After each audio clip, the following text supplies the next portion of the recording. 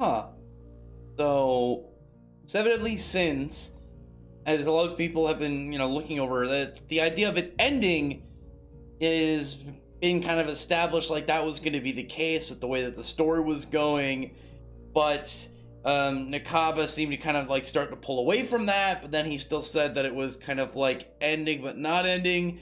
And it looks like the uh, you know the speculation, and I, I think he hinted at. It. I have to go back and try and find an interview of Arthur getting a continuation is in fact going to be the case. And when it comes to that, I have many questions of how this will go. Because this chapter, it opened up a lot of potential, but then there's, I think, a lot of really good uh, questions behind it. Because Arthur, who's now been awakened as this, uh, you know, he's a vessel for chaos, you know, as they say, the king of chaos, and just him flexing his power when he's like starting to just have it all wash over him and really kind of surge in his body. And Meliodas guys to try and stop him. And we know that last time Arthur ran into Meliodas, that was when he, you know, wielded Excalibur and he was uh he was seemingly beating them and then you know obviously the, the demons were like oh yeah you know we were obviously not very being serious we were just uh, wanted to see what this sword is capable of and then you know they, they beat him up and they were a threat to britannia but at that point obviously he he's getting defensive. You know, he wants to stop Meliodas. He doesn't know about the whole situation right now. And he doesn't control his power. And then you just get this big crazy paneling of like stuff and like uh, like space is distorted you have like areas of the ground just kind of like all mixed match in all directions and i was wondering how this was possible maybe some form of like illusionary power or reality warping and eh, it, while they're kind of questioning it, there is just a straight like, "Oh no, is, are, are we hallucinating? What is this?" And it's not that. It is a level of reality warping, just a level of twisting the area that he's in. And actually, just Loki really liked that big, like, uh, swinging guillotine armed monster with the castle head that we saw. That was actually one of my favorite things about the chapter, just because that design I think is just really cool and really neat to look at. But it was just very dangerous for him. And for some reason, he threw a d20 at Meliodas. I was kind of curious about that. What are you doing th- throwing dice at him? Or is it a d20 or is that. Uh, he's pretty sure it's a d20. Either a d20 or like a, I don't think it's a d12. Yeah, because one of them goes up with seven. I'm pretty sure it's a d20. Either way, uh, he's just kind of beating up on him. He's much more powerful than everybody and Merlin has to calm him down to, to, to like tell him you know not to let chaos consume him and to stay with the plan uh, the power that he you know has flowing in him and they're like discussing it essentially because I was wondering, oh, is he going to become like an extra arc villain, or you know, is he going to go out of control and be something something crazy? But near the end of the chapter, he gains control again, and he's talking to them, and Merlin is explaining essentially that chaos, it's both impure and pure it's of dark and light and it's essentially this power of like unstable creation that ended up creating the races of the world and seemingly the world itself and i'm wondering if it's like the planet or like the state of the world or how exactly that works maybe you know like landmass stuff or is it literally just the planet itself? And it's this chaos energy and to what extent i'm curious arthur is going to be able to control? Is he just going to be able to grasp it entirely? Is that something he's going to have to learn how to harness? And by the end of it he's doing like crazy attacks that like across the planet or something something wild. But also the chaos power ended up creating the demon king and the uh, the supreme deity which again obviously we knew that she was more powerful but it's not just so much as there is some being called the Mother of Chaos because in the uh, the movie, no, though not canon, it describes the Mother of Chaos and it's hinted that Mama Hawk is the Mother of Chaos. And there's some comments from Nakaba about being like she's her power level is immeasurable, which is how you know they described the Mother of Chaos. But it looks like more of the power itself because the power gives you know birth to creation, and now that Arthur has this and his powers you know been awakened, chaos is gonna you know be existent again and he's going to be the one to control it and lead Britannia into a new world. So there's there's a lot of questions there. And the thing is, when you look at obviously Meliodas has been the main character of, of Seven Deadly Sins, and it's weird to shift it to Arthur, but obviously, like if he gets his own series, this part is going to be a prelude to it. But Arthur is he's themed, you know, straight Arthur Pendragon, wielder of Excalibur, king of Camelot, the one to unite Britannia. He's a very famous character, and you know when you have a character based off of him, he's just one of the ones you got to respect. You got to give him credit for just you know where their name ties to. But now they're like talking and like trying to get information out of Merlin, and whoever it was that's in the lake, that voice coming out of it says that they're you know they'll answer for Merlin, and I guess we're gonna find out some of Merlin's backstory, and then you know this they said like a young witch who wandered the land, you know, on a on an adventure and search for chaos. So the the chapter itself, I think, was a pretty fast read the stuff that really talk about the like the the material, the the content, the just the meat in this chapter is the question of where is this going to go? Because if this was a long time ago or maybe set up to be a villain, I'd be like, okay, yeah, and then we'll see, you know, maybe he'll train certain characters and becoming like chaos knights or something. But if he's going to be the main character of, you know, continuation, assume it's just, I, I don't know, it's just called like uh, King Arthur or something. Uh, whatever Nakaba decides to call this continuation. Because I assume he's not going to just call it Seven Deadly Sins if, you know, the Seven Deadly Sins aren't going to be the focus. But who will the bad guys be is what I want to know. Because we've already got the Demons uh, clan out of the way. We've already got the Goddess clan out of the way. Are there going to be other wielders of chaos that are going to show up? Maybe with their own kind of crews to, to, to fight Arthur for this command position, King of Chaos?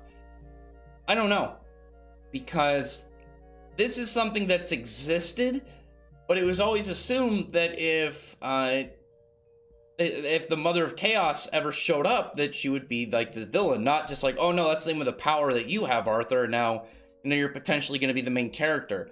It's just kind of a weird concept because you take the end game thing and it's like no the end game thing is a new game thing and then it's like well what is the new game thing gonna like be competing against what is their obstacle. I mean, there you could easily have more characters show up. Maybe like, oh, these are beings that were banished to another dimension. They're prisoners in it, and now they're let loose. Because they did say the seal on chaos is unleashed and undone.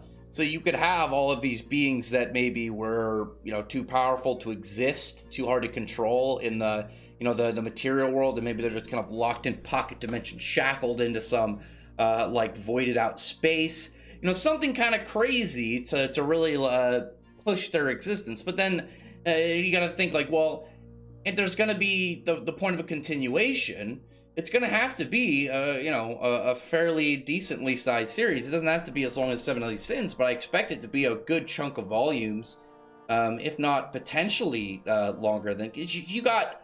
You've got a lot to work with, and I, I think Nakaba's best bet is having something like that. Maybe other chaos beings maybe having other beings out there in the world. Like again, imagine there are other demon kings and supreme goddesses, but just of other lands, and maybe working up to the chaos. It's Arthur fighting all these characters. Like maybe arc one, like the first one, the bad guy is like at level of the original sinner, where it's like, yeah, we've seen characters bigger, but this is where Arthur's tale is kind of starting out, and then you work up to these more chaotic level creatures. It's it's a really fun speculation right now but until we get more information, who knows? I mean, I, I wasn't expecting a chapter to be out. There, there wasn't supposed to be a chapter this week. It's not on anywhere else except for on Crunchyroll. But I'm, to be honest, I'm pretty sure Crunchyroll fucked up on this one because it was explicitly said that this was supposed to be a week off, while it was a double week last week. That's why we're not, we didn't see anything for like Heroes or you know anything else. It's just certain ones that uh, Crunchyroll has licensed that are from uh, Kodansha. So, I mean, I'm not gonna complain. I-, I, thought it was an interesting chapter. I wasn't expecting it. I was getting ready for bed, and then like, well, I gotta read this because you know it's Eden Zero new chapter came out, and the new uh, Seven Deadly Sins chapter. So I, I wanted to go check out and see what was you know what was going on. I liked where Arthur was left off, and I really want to just see what uh, what the position is, what exactly is going on with uh, with the characters, and what the story is going to kind of dive into. But other than that, I, I don't really have a whole lot. Like the first half of the chapter was really just Arthur letting out chaos and just kind of like getting a flex on his power. That's like, how are you gonna have this as the main character's power? Is like chaos, like this apparent power of like creation and distortion. This is like a final boss power, and yet you know you're putting it on the main character, seemingly assuming that he's going to be the main character of his own uh, continuation story, which I, I'm fairly certain is. Otherwise, what's the point of this? But we gotta wait a little bit. It probably won't be for a couple more chapters. This does look like the the plan that Na, apparently Nakaba was gonna end. Seven Deadly Sins, I think, with volume 41. So maybe this will fit into there, and then like two or three chapters from now, we'll, we'll get a start. I know he said something about February. Maybe it will be in February we get a continuation, and maybe he'll take a break somewhere in January, a couple weeks, and then we'll get back to whatever the sequel series is over there because I like this idea. I like the idea of the authors. You know, when they when they finish their you know their big work, they end up instead of like, oh well, I'll just start something completely new and, and not related at all, and you know see if it sticks. Because that is cool. It's cool to get new stuff. But when you have something that works and is well established, I, I, like the idea more of expanding it. Not not the idea of like, oh, I'm gonna milk it forever and you know, just make it kind of lifeless and just a, a a, big money absorbing product. As long as you're doing good stuff, progressing the story and the world, the characters, then I don't mind this, you know, like, oh yeah, we're gonna keep going. And, and and just see how far the Seven Deadly Sins world takes him, and then maybe we'll change it. I know Hiro Mashima now calls his collective universe the Mashima world, and he set up stuff that to cross and connect the entire multiverse that he's created. So Open something like that with Nakaba. I, I doubt we'll get anything related to Kongo Bancho, but everything forward, you know, and then when we see Meliodas and crew show up in Arthur spinoff, it'll be like it'll it'll be way cooler. Because I think one of the things I, I will just say really quick is Meliodas's power level. I, I thought it was. I always thought it would kind of get a little bit overdone. That you know he'd show up and he would just curb stomp everybody. It's not like you know, in One Punch Man with Saitama, that's the point. You know, he's he's almost like cartoonish character living in a serious superhero world. But I think Meliodas is overly present. You know, he just trashes everybody he fights. It's really, you know, was what was unfortunate. He should have been. It should have been switched from the start. Arthur was the main character, and Meliodas, instead of being the main character, was that kind of like the Chad guy and so instead of it just being like, oh, he's just gonna wreck these guys, when he shows up, you don't know when he's gonna show up, and then it's like, oh, sweet, he's gonna kick somebody's ass. This is gonna be awesome. We're gonna see him flex. I mean, it worked out for what Nakaba had planned, so good for him. You know, obviously he's got a fan base now. I'm very intrigued to see where this goes and what exactly his plans for the future and what his plans are for Arthur. But other than that, like I said, comment below and uh, tell me what your thoughts are about this chapter. I really like this spread just because it was weird. And that, like I said, that monster design was really sick. So where this story goes from here, uh, just patience, and we'll find out. And other than that, please thumbs up the video, but from the like button, subscribe button, and check out my other videos if you enjoy my content. And other than that, I appreciate everyone who's already subscribed. Thank you all for listening. Bye.